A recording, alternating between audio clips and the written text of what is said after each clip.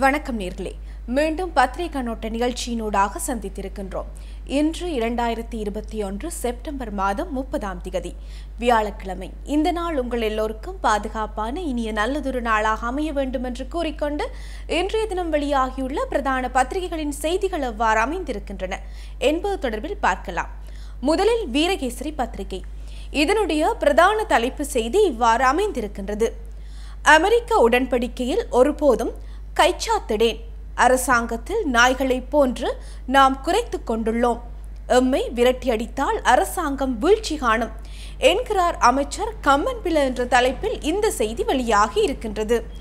இலங்கையில் எரிவாயு உற்பத்தியை மேற்கொள்ள அமெரிக்க நிறுவனம் ஒன்றுடன் செய்து கொள்ளப்பட்டுள்ள உடன்படிக்கை இலங்கைக்கு பாதிப்பை ஏற்படுத்தும் என்றும் நிதியமைச்சின் மூலமாக முன்னெடுக்கப்படும் இந்த ஒப்பந்தத்தில் வலுசக்தி அமைச்சராக நான் ஒருபோதும் கைச்சாத்திட மாட்டேன் எனவும் வலுசக்தி அமைச்சர் உதய கம்மன்பில தெரிவித்தார். பங்காளி கட்சிகள் அரசாங்கத்தில் இருக்கும் நாய் போன்று செயற்பட்டு கொண்டுள்ளோம். அரசாங்கத்தின் மீதும் நாட்டின் மீதும் அச்சுறுத்தல் உள்ளதை கருத்தில் கொண்டு குறைக்கின்றோம்.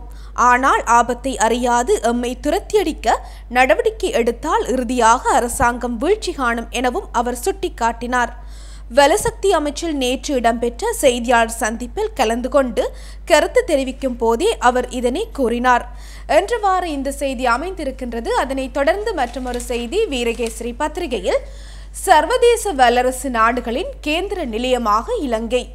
சீனா இந்தியா அமெரிக்கா இல்லை என்றால் சுவாசிக்கவும் முடியாது என்ற நிலைக்கு நாடு தள்ளப்பட்டுள்ளது. சுதந்திர கட்சி என்ற தலைப்பில் இந்த செய்தி வெளியாகி இருக்கின்றது.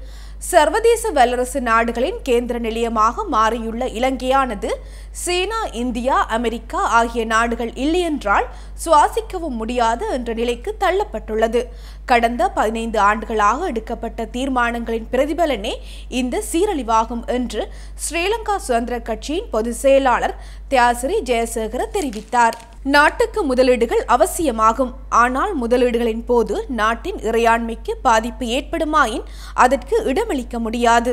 அமெரிக்காவின் தேவைக்கேற்ப இலங்கைக்கு மீன் விநியோகத்தை வழங்க தன்னிச்சையான அதிகாரம் வழங்கப்படுமாயின் அது இலங்கையின் இறையாண்மையை கேள்விக்குட்படுத்தும் என்றும் தியாசிரி ஜெயசேகர சுட்டிக்காட்டினார். குருநாகல் பிரதேசத்தில் நேற்று புதன்கிழமை நடைபெற்ற ஊடகவியலாளர் சந்திப்பில் இதனை தெரிவித்தார். என்றவாறு இந்த செய்தி அமைந்திருக்கின்றது. அதனைத் தொடர்ந்து மற்றொரு செய்தி வீரகேசரி பத்திரிகையில். அடிப்படைவாதிகளுக்கு புனர்வாழ்வளிக்க முஸ்லிம்களின் ஒத்துழைப்பு அவசியம். பொதுமக்கள் பாதுகாப்பு அமைச்சர் அட்மிரல் சரத் வீரசேகர் என்ற தலைப்பில் இந்த செய்தி வெளியாகி இருக்கின்றது. அனைத்து முஸ்லிம் இளைஞர்களும் ஐஎஸ்ஐஎஸ் அமைப்பின் கொள்கையினால் ஈர்க்கப்பட்டுள்ளார்கள் என ஒருபோதும் குறிப்பிடவில்லை. அடிப்படைவாத கொள்கையால் ஈர்க்கப்பட்டவர்களை இனங்கண்டு அவர்களுக்கு புனர்வாழ்வளிப்பதற்கு முஸ்லிம் சமூகத்தினரிடமும் முஸ்லிம் அமைப்புகளிடமும் விடுத்த கோரிக்கை இவ்வாறு தெரிவுபடுத்தப்பட்டுள்ளது என பொதுமக்கள் பாதுகாப்பு அமைச்சர் அட்மிரல் சரத் வீரசேகர தெரிவித்தார். பொதுமக்களின் பாதுகாப்பு கருதியே சந்தேக நபர்கள் கைது செய்யப்படுகிறார்கள். இதற்கு இனவாத உருவம் வழங்கப்படுவது முற்றிலும் தவறானது. அடிப்படைவாத கொள்கையால் ஈர்க்கப்பட்டவரை இலகுவில் வேறுபடுத்தி இனங்காண்பது கடினம். இவர்கள் எந்த நேரத்திலும் தாக்குதல்களை முன்னெடுக்கலாம் எனவும் அவர் குறிப்பிட்டார். என்றவாறு இந்த செய்தி வெளியாகி இருக்கின்றது. இவையே இன்றைய தினம் வெளியாகியுள்ள வீரகேசரி பத்திரிகையின் பிரதான செய்திகளாக காணப்படுகின்றன.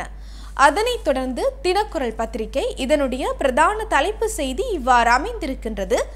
தேவாலயங்கள் மீது மீண்டும் தாக்குதல் நடத்த திட்டமா?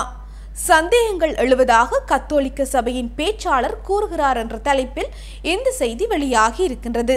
தாக்குதல் அச்சுறுத்தல் இருப்பதாக முதல் கூறிவிட்டு பின்னர் அது தவறுதலாக நடந்துள்ளது என்று கடற்படையும் பாதுகாப்பு அமைச்சும் கூறுகிறதென்றால் என்ன அந்த தவறு என்ற சந்தேகங்கள் எழுவதாக கத்தோலிக்க சபையின் பேச்சாளரான ஸ்ரில் காமினி பெர்னாண்டோ ஆண்டகை தெரிவித்துள்ளார். ஜாயல போப்பிட்டிய பகுதியிலுள்ள தேவாலயம் ஒன்றுக்கு நேற்று முன்தினம் சென்றுள்ள கடற்படையைச் சேர்ந்த சிலர் அங்கு குண்டு தாக்குதல் அச்சுறுத்தல் இருப்பதாகவும் இது தொடர்பில் எச்சரிக்கையாக இருக்குமாறும் தெரிவித்ததாக வெளியாகும் செய்திகள் குறித்து நேற்று கொழும்பில் பேராயர் இல்லத்தில் நடத்தப்பட்ட செய்தியாளர் சந்திப்பிலேயே அவர் இவ்வாறு தெரிவித்துள்ளார். அதன்போது ஸ்ரீல்காமினி பெர்னாண்டோ ஆண்டகை தெரிவித்துள்ளதாவது இந்த பகுதியில் தேவாலயங்களுக்கு சென்றவர்கள் தாக்குதல் நடத்தப்படலாம் என்ற சந்தேகம் இருப்பதாகவே கூறியுள்ளனர். இப்போது கடற்படையும் பாதுகாப்பு அமைச்சும் இது தவறுதலாக நடந்தது என்று கூறியுள்ளனர். சில கடற்படையினரே தேவாலயங்களுக்கு சென்று தாக்குதல் இடம்பெறலாம் என எச்சரித்துள்ளனர். கத்தோலிக்க மதகுருமார் போன்று உடையணிந்த சிலர் கிறிஸ்தவ தேவாலயங்களில் தாக்குதல்களை மேற்கொள்ளக்கூடும் எனவும் அவர்கள் எச்சரித்துள்ளனர். எவரேனும் அதிகாரிகள் குழுவொன்று சென்று இவ்வாறு கூறிவிட்டு பின்னர் தவறுதலாக நடந்தது என்று கூறுவார்களாக இருந்தால் அது தொடர்பில் கேள்விகள் எழுகின்றன. என்ன அந்த தவறு? இது விளையாட்டு விடயமல்ல. இது தேசிய பாதுகாப்புடன் தொடர்புடைய விடயமே. இவ்விடயத்தை தவறுதலாக நடந்த விடயம் என கூறுவது வேடிக்கையாக இருக்கின்றது. என்றுவாறு இந்த செய்தி வெளியாகி இருக்கின்றது அதனைத் தொடர்ந்து மற்றொரு செய்தி தினக்குரல் பத்திரிகையில். சீன பசலைக்கு இலங்கை தடை. என்ற தலைப்பில் இந்த செய்தி வெளியாகி இருக்கின்றது. இவ்வாண்டுக்கான மகாபருவத்திற்கு சீனாவில் இருந்து இறக்குமதி செய்யப்படவிருந்த சேதன பசலையை இறக்குமதி செய்வதற்கு தடை விதிப்பதற்கு தீர்மானித்துள்ளதாக விவசாய அமைச்சர் மஹிந்தானந்த அழுத்கமுகே தெரிவித்துள்ளார். சீனாவிலிருந்து சேதன பசலையை இறக்குமதி செய்வதற்கு முன்னர் பெற்றுக்கொள்ளப்பட்ட பரிசோதனை மாதிரிகளில் நாட்டின் மண்வளத்திற்கும் காலநிலைக்கும் பொருத்தமற்ற நுண்ணுயிர்கள் காணப்படுவதாக கண்டறியப்பட்ட நிலையிலே இத்தீர்மானம் மேற்கொள்ளப்பட்டுள்ளதாக அமைச்சர் தெரிவித்துள்ளார். எனினும் மகாபர்வத்திற்கும் விவசாயிகளுக்கும் தேவையான பசலைகளை தட்டுப்பாடு அல்லாமல் வழங்குவதற்கு அரசாங்கம் கவனம் செலுத்தி வருகிறது. என்றுவாறு இந்த செய்தி வெளியாகி இருக்கின்றது. அதனைத் தொடர்ந்து மற்றொரு செய்தி தினக்குரல் பத்திரிகையில் மனித உரிமைகள் ஆணைக்குழுவின் விசாரணைக்கு செல்வதை தவிர்க்கிறாரா லொஹான் என்ற தலைப்பில் இந்த செய்தி வெளியாகி இருக்கின்றது. அனுராதபுரம் சிறைச்சாலைக்குள் கடந்த பனிரெண்டாம் தேதி இடம்பெற்ற சம்பவம் தொடர்பாக விசாரணைக்காக ராஜாங்க அமைச்சர் லொஹான் ரத்வத்தைக்கு இலங்கை மனித உரிமைகள் ஆணைக்குழு அழைப்பு விடுத்திருந்த போதும் அவர் அதற்கு செல்லவில்லை என தெரிய வருகிறது. அனுராதபுரம் சிறைச்சாலைக்குள் கடந்த பனிரெண்டாம் தேதி அத்துமீறிய ராஜாங்க அமைச்சர் லொஹான் ரத்வத்தை அங்கு தடுத்து வைக்கப்பட்டுள்ள தமிழ் அரசியல் கைதிகள் இருவரது தலையில் துப்பாக்கி வைத்து அச்சுறுத்திய சம்பவம் பெரும் பரபரப்பை ஏற்படுத்தியிருந்தது. இதுகுறித்து பல தரப்பினராலும் போலீஸ் தலைமையகத்திடம் முறைப்பாடு செய்யப்பட்ட போதிலும் இதுவரை ராஜாங்க அமைச்சர் லொஹான் ரத்வத்தை கைது செய்யப்படவில்லை. இந்த நிலையில் கைதிகளின் உரிமை மீறப்பட்டிருப்பதாக கிடைத்த முறைப்பாட்டை தொடர்ந்து இலங்கை மனித உரிமைகள் ஆணைக்குழுவின் அதிகாரிகள் அண்மையில் அனுராதபுரம் சிறைக்கு விஜயம் செய்து தமிழ் அரசியல் கைதிகளிடம் வாக்குமூலத்தை பதிவு செய்திருந்தார்கள். இதனையடுத்து விசாரணைக்காக ராஜாங்க அமைச்சர் லொஹான் ரத்வத்தைக்கு இலங்கை மனித உரிமைகள் ஆணைக்குழு அழைப்பு விடுத்திருந்தது. விசாரணைக்கான அழைப்பிற்கமைய ராஜாங்க அமைச்சர் ரத்வத்தை நேற்று முன்தினம் முன்னிலையாகி இருக்க வேண்டும். என்றாலும் அவர் முன்னிலையாவதை தவிர்த்து கொண்டதாக தெரிவிக்கப்படுகின்றது. என்றவாறு இந்த செய்தி வெளியாகி இருக்கின்றது. இவையே இன்றைய தினம் வெளியாகியுள்ள தினக்குரல் பத்திரிகையின் பிரதான செய்திகளாக காணப்படுகின்றன. அதனைத் தொடர்ந்து தினகரன் பத்திரிகை. இதனுடைய பிரதான தலைப்பு செய்தி இவ்வாறு அமைந்திருக்கின்றது. நோய் பீடிக்கப்பட்ட மற்றும் சுகாதாரத்துறையினர் உட்பட அறுபது வயதிற்கு மேற்பட்டோருக்கு பூஸ்டர் தடுப்பூசியாக பைசர் சுகாதார சேவைகள் பணிப்பாளர் நாயகம் அறிவிப்பு என்ற தலைப்பில் இந்த செய்தி வெளியாக இருக்கின்றது. நாட்டில் அறுபது வயதிற்கு மேற்பட்டவர்களுக்கு பூஸ்டர் தடுப்பூசியை வழங்குவதற்கான அனுமதி கிடைத்துள்ளதாக சுகாதார சேவைகள் பணிப்பாளர் நாயகம் அசேல குணவர்த்தன தெரிவித்துள்ளார். அதேவேளை முப்பது வயதிற்கும் அறுபது வயதிற்கும் இடைப்பட்ட புற்றுநோய் மற்றும் சிறுநீரக நோயினால் பாதிக்கப்பட்டுள்ள நபர்களுக்கும் சுகாதாரத்துறை ஊழியர்கள் மற்றும் அதிகாரிகளுக்கும் மூன்றாவது தடுப்பூசியாக பைசர் தடுப்பூசியை வழங்குவதற்கு தீர்மானித்துள்ளதாகவும் அவர் தெரிவித்துள்ளார். நேற்றைய தினம் கொழும்பில் நடைபெற்ற செய்தியாளர் மாநாட்டின் போதே அவர் இதனை தெரிவித்துள்ளார்.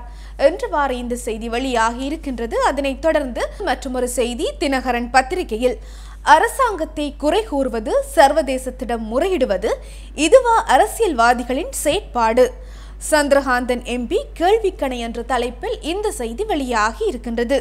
அரசாங்கத்தை குற்றம் சாட்டுவது சர்வதேசத்திடம் முறையிடுவது மாத்திரம் எங்களை போன்ற அரசியல்வாதிகளின் செயற்பாடல்ல. சிதைந்து போயுள்ள பொருளாதாரத்தை கட்டியெழுப்பி நம்பிக்கை இழந்த மக்களின் வாழ்க்கை தரத்தை கட்டியெழுப்புகின்ற மிக பிரதானமான பொறுப்புக்காகவே மக்கள் எங்களுக்கு வாக்களித்துள்ளனர். என மட்டக்களப்பு மாவட்ட அபிவிருத்தி குழுவின் இணைத்தலைவர் பாராளுமன்ற உறுப்பினர் சிவநேசதுரை சந்திரகாந்தன் தெரிவித்தார். மட்டக்களப்பில் நேற்று நடைபெற்ற செழுமைமிக்க நூறு நகரங்கள் செயற்திட்ட ஆரம்ப நிகழ்வில் கலந்து கொண்டு உரையாற்றும் போதே அவர் இவ்வாறு தெரிவித்துள்ளார். என்று வார இந்த செய்தி வெளியாகி இருக்கின்றது. இவையே இன்றைய தினம் வெளியாகியுள்ள தினகரன் பத்திரிகையின் பிரதான செய்திகளாக காணப்படுகின்றன. அதனைத் தொடர்ந்து தமிழன் பத்திரிகை இதனுடைய பிரதான தலைப்பு செய்தி இவ்வாறு அமைந்திருக்கின்றது. தளர்கிறது ஊரடங்கு. என்ற தலைப்பில் இந்த செய்தி வெளியாகி இருக்கின்றது. நாட்டில் தற்போது அமலில் உள்ள தனிமைப்படுத்தல் ஊரடங்கு சட்டத்தை நாளை வெள்ளிக்கிழமை அதிகாலை நான்கு மணிக்கு நீக்குமாறு ஜனாதிபதி ஆலோசனை வழங்கியுள்ளதாக ராணுவ தளபதி ஜெனரல் சவேந்திர சில்வா தெரிவித்துள்ளார். அவ்வாறு தனிமைப்படுத்தல் ஊரடங்கு நீக்கப்பட்டதன் பின்னர் செயற்பட வேண்டிய விதம் தொடர்பில் வழிகாட்டல் கோவையை வெளியிடுமாறும் ஜனாதிபதி ஆலோசனை வழங்கியுள்ளதாக ராணுவ தளபதி மேலும் கூறியுள்ளார். எவ்வாறாயினும் மாகாணங்களுக்கு இடையிலான போக்குவரத்து தொடர்ந்தும் தடை இருக்கும் எனவும் நிலைமை சற்று சீராகிய பின்னர் மாகாணங்களுக்கு இடையிலான போக்குவரத்து அனுமதிக்கப்படும் எனவும் தெரிய வந்தது கடும் சுகாதார கட்டுப்பாடுகளுடன் கூடிய சுகாதார வழிகாட்டி இன்று வெளிவரும் என சொல்லப்பட்டது. இதற்கிடையில் பாடசாலைகளை விரைவில் திறக்கவும் முன்னாயத்தங்கள் செய்யப்படுவதாக அறிய முடிந்தது. இன்னும் இரண்டு வாரங்களில் இருநூறு மாணவர்களுக்கு குறைந்த பாடசாலைகளை கிருமி நீக்கம் செய்து அவற்றை திறப்பதற்கு நடவடிக்கை எடுக்கப்பட்டுள்ளது. என்று வார இந்த செய்தி வெளியாகி இருக்கின்றது. அதனைத் தொடர்ந்து மற்றொரு செய்தி தமிழன் பத்திரிகையில் தமிழ் எம்பிகளை கூட்டிணைக்கும் மத தலைவர்களின் முயற்சி தேசிய விடுதலை பயணத்தின் அடுத்த கட்ட ஆக்கபூர்வ ஆரம்பம். ஸ்ரீதரன் எம்பி வரவேற்பு என்ற தலைப்பில் இந்த செய்தி வெளியாகி இருக்கின்றது. தமிழ் எம்பிகளை கூட்டிணைக்கும் மத தலைவர்களின் முயற்சியானது தேசிய விடுதலை பயணத்தின் அடுத்த கட்ட ஆக்கப்பூர்வ ஆரம்பம் என தமிழ் தேசிய கூட்டமைப்பின் நாடாளுமன்ற உறுப்பினர் ஸ்ரீதரன் தெரிவித்துள்ளார். இது தொடர்பில் அவர் விடுத்துள்ள அறிக்கையொன்றில் குறிப்பிடப்பட்டுள்ளதாவது தமிழ் தேசிய விடுதலை பயணத்தை அடுத்த கட்டம் நோக்கி எடுத்து செல்வதற்கான ஆரம்ப முயற்சியை திருமலை மறைமாவட்ட ஆயர் வணக்கத்துக்குரிய கலாநிதி நோயல் இமானுவேல் தென்கயிலை ஆதீனத்தின் முதற் குருமகா சந்நிதானம் தவத்திரு அகத்தியர் அடிகளாரும் இணைந்து முன்னெடுத்திருப்பது போரின் நேரடி தாக்கங்களால் கல்வி கலை கலாச்சாரம் மொழி நில இன அடையாள ரீதியாக கடுமையாக பாதிக்கப்பட்டு வலிதாங்கி நிற்கும் தமிழினத்தின் ஆழ்மன காயங்களுக்கு அருமருந்தாய் அமைந்துள்ளது. என்றவாறு இந்த செய்தி வெளியாகி இருக்கின்றது. இவையே இன்றைய தினம் வெளியாகியுள்ள பிரதான பத்திரிகைகளின் செய்திகளாக காணப்படுகின்றன. அதனைத் தொடர்ந்து தற்போது நாட்டினுடைய காலநிலை பற்றிய தகவலை அறிந்து கொள்வதற்காக தொடர்பினை ஏற்படுத்துகின்றோம். இலங்கை வளிமண்டலவியல் திணைக்களத்தின் சிரேஷ்ட வானிலை அதிகாரி முகமது சாலிஹின் அவர்களுடன். இலங்கையின் தென்கிழக்கு பகுதியில் வளிமண்டலத்தில் தாழ்மட்ட இடையூறு ஒன்று உருவாகும் சாத்தியம் காணப்படுகின்றது. ஆனபடியினால் நாட்டின் பெரும்பாலான பகுதிகளில் நாளையும் நாளை மறுதினமும் மழையுடனான வானிலை அதிகரித்து காணப்படும் என எதிர்பார்க்கப்படுகின்றது. மத்திய சப்ரகமுக மேல் மற்றும் வடமேல் மாகாணங்களிலும் அத்துடன் காலி மற்றும் மாத்தறை மாவட்டங்களிலும் இடைக்கிடையே மழை பெய்யக்கூடும். ஏனைய பிரதேசங்களின் பல இடங்களில் மாலை அல்லது இரவு வேளைகளில் மழை அல்லது இடியுடன் கூடிய மழை பெய்யக்கூடிய வாய்ப்பு காணப்படுகின்றது.